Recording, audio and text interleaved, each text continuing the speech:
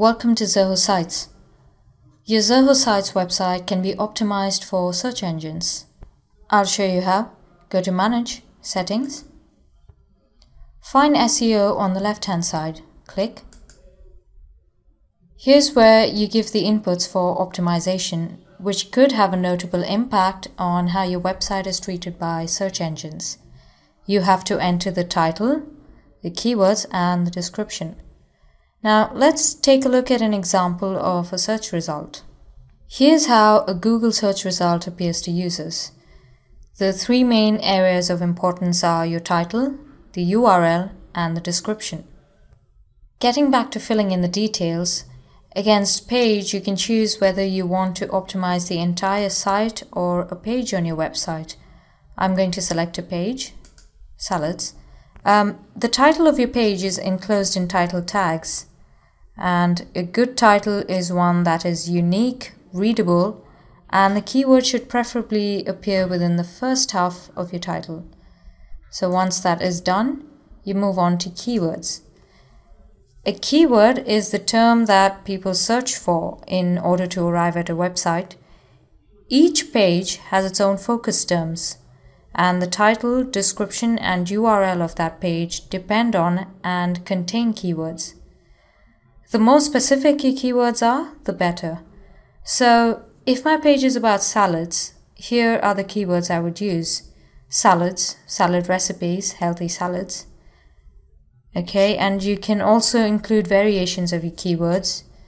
And you must avoid wrong keywords and definitely avoid spam.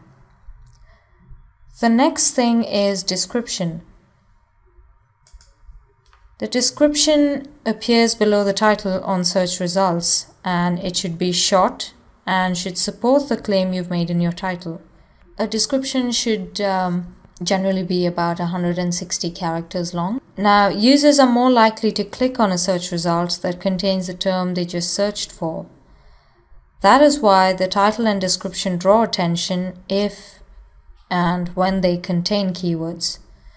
So, once you've given the title and the keywords and your description, just hit save. The next thing we look at is crawlers. Now crawlers are the bots that crawl your website and in Zoho Sites you have the option of giving a robots text for crawlers. So what is robots text or what exactly is the role of a robots text? Now your robot text will contain two important sections. One is which bots are allowed to crawl the website, and the second is which pages on the site should not be crawled. It has two commands. One is user agent, and the other is disallow.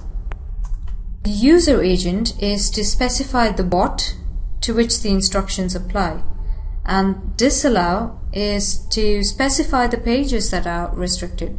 I'll show you a simple example. Now the star that you see here against user agent implies that the following commands apply to every kind of bot that crawls the site. And the slash against disallow implies that all subdirectories in the root folder are restricted to bots. That means that no page in the root folder should be crawled by any bot. To show you an example, I'm on the home page of my website and the URL reads cookingdelight.zohosites.com slash home.html. Now if I click on the salads page, you'll find that home.html has been replaced by salads.html.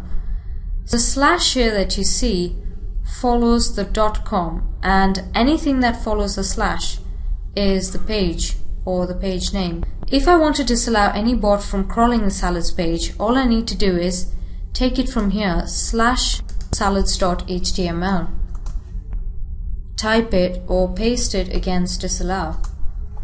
So here it reads now user agent star disallow slash salads.html and this means that no bot can crawl the salads page on my website.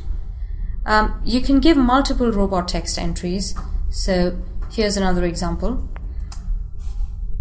So here it means that I have disallowed the Google bot from crawling my contact page on my website. and then you hit save. That's all we have for elementary SEO. Thanks for watching.